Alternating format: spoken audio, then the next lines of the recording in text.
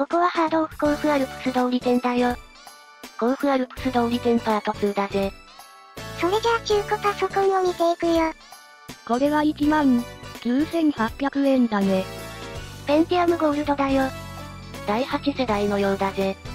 2個は4スレッドだね。こっちは1万1000円だね。これは第3世代の Core i5 だね。光学ドライブが不良って書いてあるよ。不具合があってもジャンクにはしたくないんだね。これは5940円だね。普通にジャンクでも良さそうなスペックだぜ。ダブル PS オフィスがついているよ。これは1万1000円だね。これは第2世代の Core i5 だね。さすがにこれを1万1000円で買う気にはなれないぜ。2011年のモデルなんだね。SSD へのカンソルトラムの増設が必須だね。こっちには一体型 PC がたくさんあるね。これは1万6500円もするぜ。これもラムが 4GB だね。ハードディスクは 500GB だね。これは7150円だね。光学ドライブはブルーレイが NG だぜ。第1世代 Core i3 だね。ジャンクコーナーに並んでも不思議じゃないスペックだね。これは8800円だね。これは第1世代 Core i5 だぜ。Windows 10にしたからテレビは見られないね。これは4950円だね。ラムが 1GB しかついてないね。Windows 8.1が入っているぜ。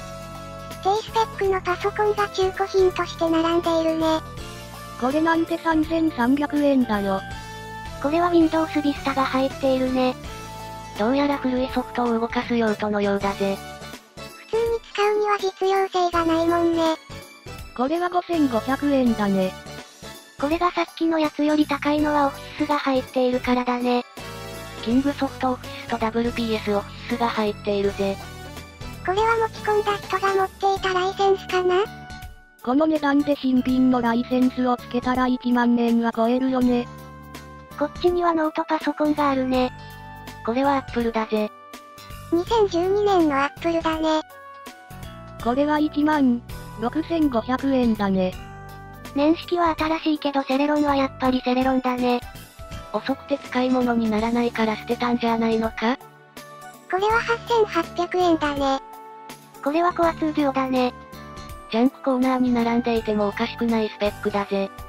Windows Vista のビジネスが入っているからじゃない？ビスタじゃないと動かないソフト専用だね。これは1万4300円だね。これはよく見かける第4世代 Core i3 だぜ。各所にシミあり何かをこぼしたのかな？これは1万9800円だね。これは第4世代 Core i5 だぜ。CPU の乾燥ができるのはこの世代までなんだね。これより新しいと CPU がハンダ付けされているね。これは1万7600円だね。第3世代のセレロンだぜ。もともと Windows 8が入っていたんだね。これは2万4970円だね。第3世代 Core i5 だね。さっきの第4世代 Core i5 のやつより高いぜ。ラムが 8GB あるからじゃない？これは2万7500円もするね。第3世代 Core i7 で2万7500円もするね。やっぱり Core i7 は高いぜ。Bluetooth がついてないね。古いから重量も結構重たそうだね。隣によく似たパソコンがあるね。これは3万800円もするぜ。これは第4世代 Core i7 だね。さっきのやつとよく似ているけどこれは富士通だね。さっきのやつは NEC だもんね。AC アダプターは互換性があるんじゃないのか？これなんて3万8500円もするね。これは第6世代 Core i3 の低電圧版だね。速度だけ見ると第3世代 Core i7 の方が速いよね。しかしこれは軽量だし Bluetooth もついているぜ。そういえば中古のノートパソコンはみんな起きているね。ジャンクのノートパソコンはみんな寝ていたね。ジャンクのノートパソコンはみんな横になっていたもんね。中古品だって子守歌を歌ってやれば寝ちゃうんじゃないのか？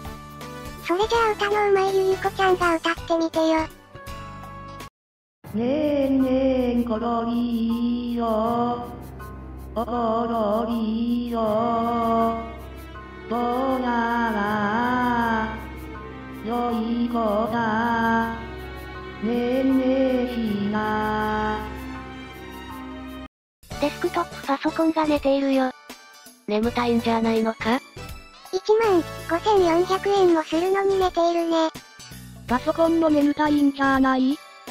ずっと同じ場所に居座っていたら眠たくもなるよね。これは2万4200円だぜ。これはさっきのやつよりも年式が古いね。これは第4世代でさっきのやつは第7世代だもんね。このパソコンはデル製だね。このパソコンは棚からはみ出しているぜ。誰かが引っ張ったんじゃないの？引っ張れば出るに決まってるよ。こっちには PC パーツがたくさんあるよ。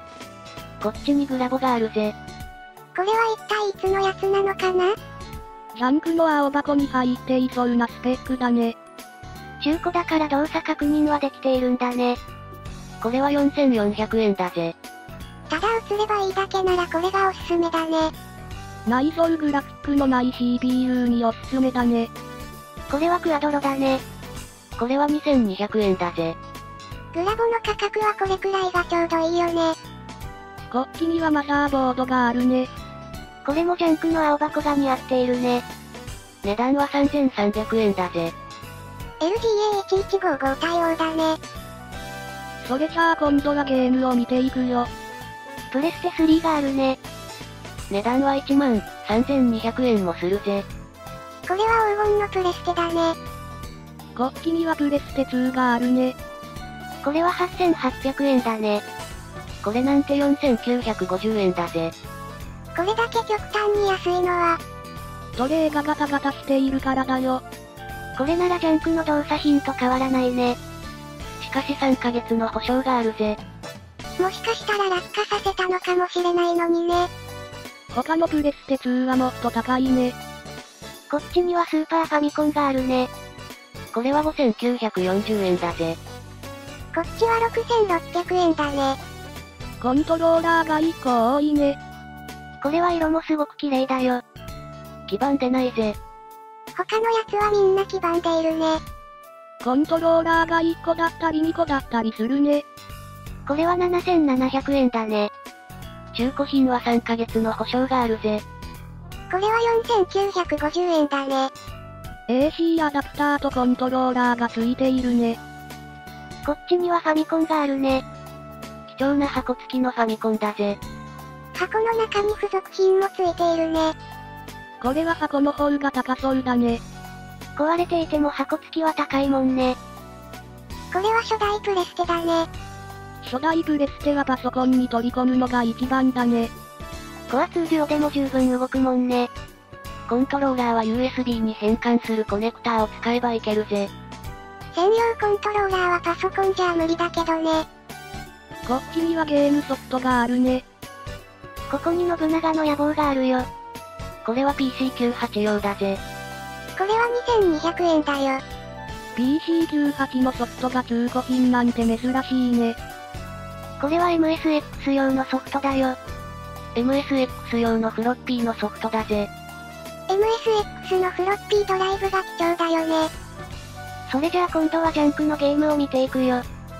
中古とは違って陳列がお粗末だぜ。ゲーム機が青箱に入っているね。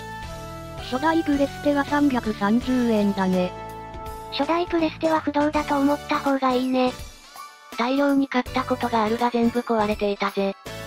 こっちにはプレステ2があるね。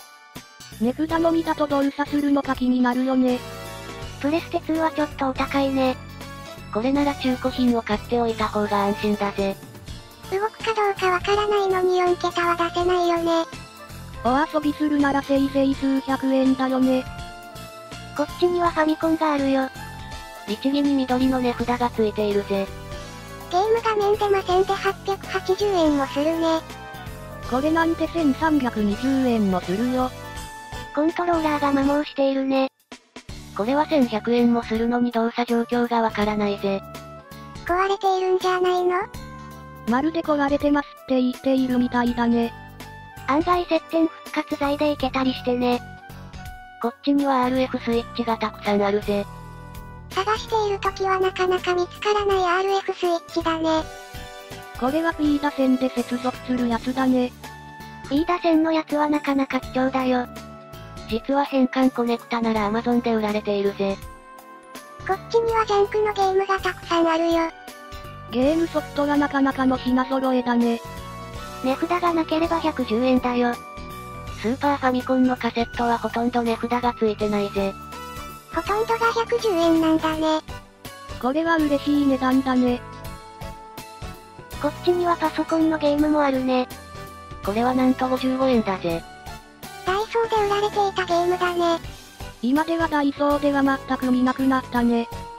ダイソーでは音楽 CD も売られていたよね。落語の CD だってあったぜ。